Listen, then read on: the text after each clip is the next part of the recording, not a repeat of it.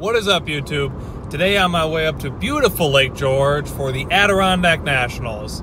It is the premier car show up here in the Northeast New England region, and it is a hell of a time. I'm running a little later today than I wanted to be, so I don't know if we're actually going to catch any of the actual like traditional like style car show. We'll definitely catch some of the uh, later night action, which I'm really looking forward to. Which is why it makes this one unique, because you know, like other parts of the country, they have some over the top car shows, but kind of in the upper northern states, this is what we got. So hang on, we're gonna have some fun, and uh, you guys will get to see what it's all about.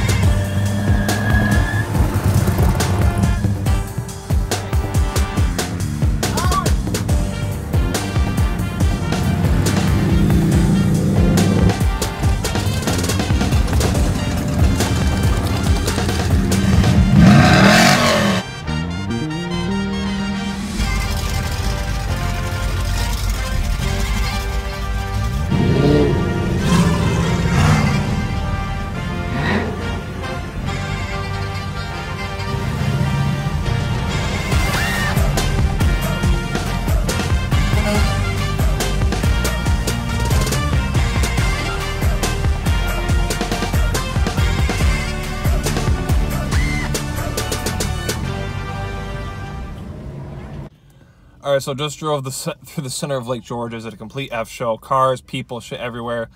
Just cost me twenty dollars. Yes, twenty dollars to park. Cool. I got the cool parking spot. So hopefully, when I try to get out of here later, it's not too big of a deal. But uh, there's just, it's you know what I mean. You got car shows and stuff like this. There's just a lot going on. So, uh, let's go walk around, get some food because I'm pretty hungry, and I'll show you guys some of the fun that goes on here in this little town around September weekend. All right, let's roll.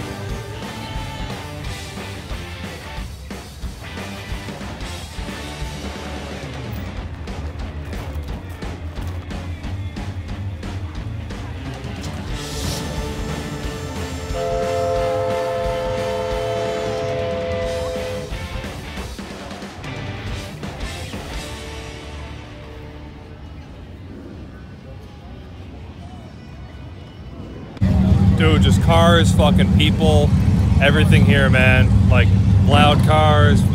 Most of your food and shit's closing up.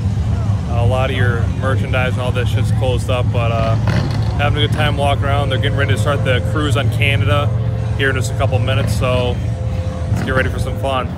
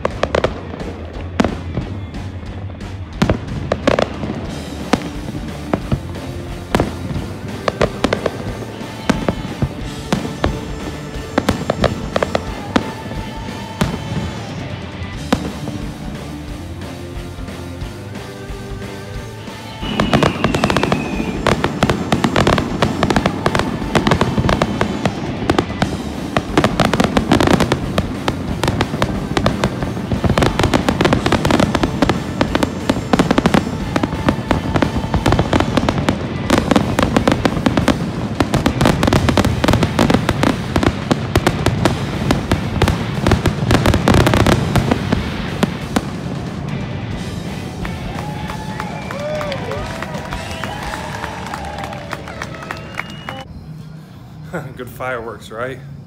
We ain't done yet.